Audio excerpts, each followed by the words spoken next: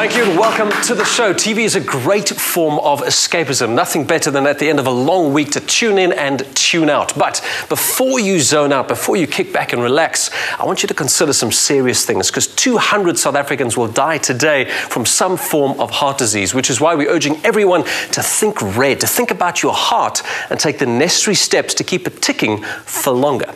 See, here's what we know heart disease is the number one killer in South Africa. One in three men and one in four women will have a heart condition before the age of 60.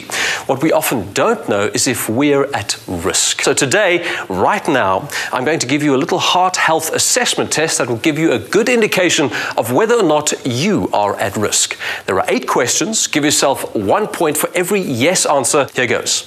Firstly, the risk factors you can't control increasing age. For men, are you over the age of 45? For women, are you postmenopausal or over the age of 55? First question. Second question Does anyone in your immediate family have a history of heart disease or diabetes? Now, risk factors that you can control. Do you have diabetes? Do you smoke? Is your blood pressure higher than 140 over 90?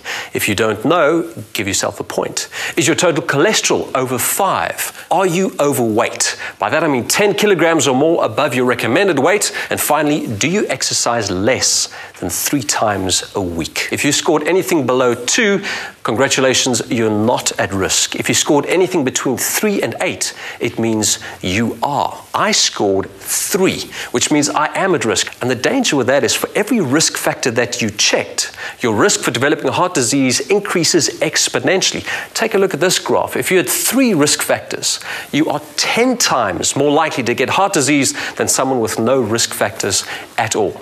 Scary thought, isn't it? So, for the risk factors you can control, it's important that you take action to minimize your risks.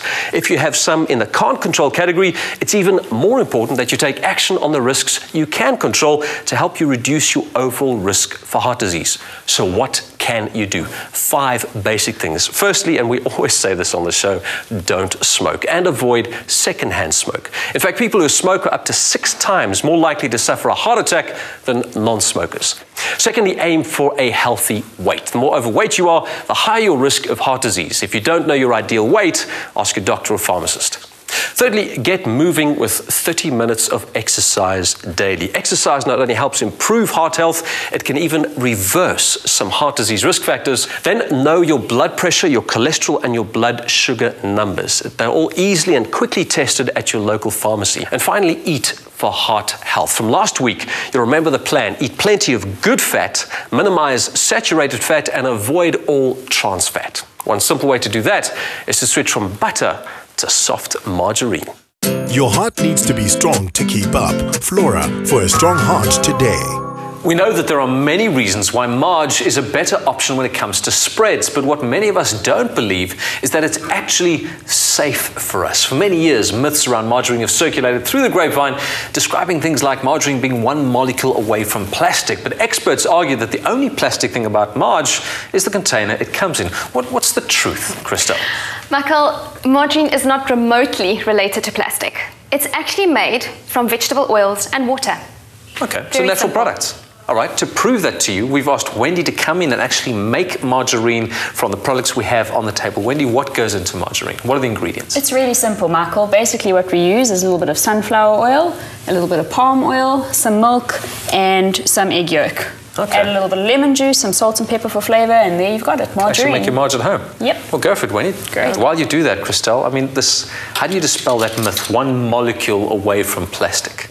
Basically, anything in life can be argued to be one molecule away from something toxic or disagreeable. To give an example, water is one molecule away from hydrogen peroxide. Salt is one molecule away from chlorine gas. It doesn't mean that it's the same thing or that it even has the same um, properties. So that is just a myth that's been flying around for ages. Nothing truth about it. Okay. What are you doing at the moment, Wendy? So basically, Michael, what I'm doing now is I'm whisking my palm oil and my sunflower oil together. I'm waiting for it to reach a sort of a milky colour, and then I know it's ready for me to add the milk and the egg yolks to it. Another myth, Christelle, is that the current healthier generation of soft margarines contain loads of trans fats.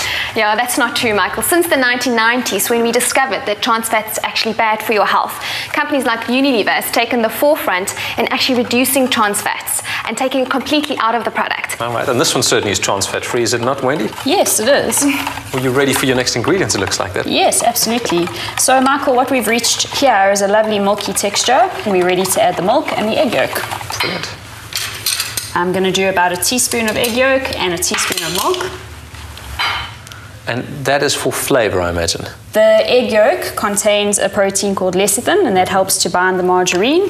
And the milk is there for flavour and a lovely creamy mouthfeel. It seems to have a rather yellowish beigey colour, which flies in the face of the myth that says margarine was actually black and then dyed yellow, not so. Absolutely, and, and also to add colour, um, you can also add um, carotenoids, which is a form of vitamin A, and that actually gives it that lovely colour. It's the same that gives carrots and tomatoes its rich colour. But what you're saying is that at no stage in the process is it ever black. No. Not at all. I wonder where these things come from. Hey? In fact, they say margarine has a negative impact on our health. It increases the risk of heart disease in women. It lowers the quality of breast milk and increase your cancer risk by five times. I mean, that's all hogwash, really. Absolutely. There's no scientific body of evidence that actually shows any of those that you just mentioned. In fact, if we look at heart disease, margarine contains the vegetable oils omega 3 and 6. And they've actually been proven when you replace your bad fats with omega 3 and 6 to reduce the risk of heart disease. Wendy, how are you doing? It's pretty much done, Michael. Um, it's reached a really nice consistency. The fats have emulsified with the egg yolk and the milk. And we've basically got a liquid form of margarine. What we would do now is then pour this into a cling filmed um, baking dish and let it set in the fridge. And there you have it, margarine. What I'm going to do here now is just flavor it a little bit. Some freshly ground black pepper, a little pinch of salt, and a nice good squeeze of lemon juice just to give it a nice palatable taste. Give that a bit of a whisk. That's and amazing. if you make it at home, you can even add some nicely fresh chopped chives, some chopped parsley. Add your own herbs, yeah. Yep. That doesn't look like it'll fatten turkeys, would it? Yeah. Well, basically, margarine was invented by a renowned French scientist, and that was actually upon the request of the Emperor Napoleon III to basically create a more affordable substitute for butter. And that's actually how it, why it was invented. And it's come a long way since then as now a healthier alternative Amazing. to butter. Okay, so what you're saying is you'd have to be quite a turkey to believe some of these myths. Great, so this is the margarine you just made, Wendy? Yes. Taste test. Mm. It's very good.